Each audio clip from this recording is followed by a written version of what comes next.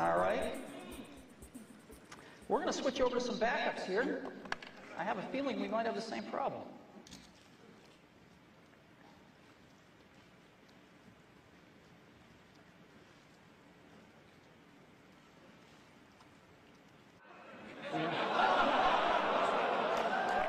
Scott, got any suggestions?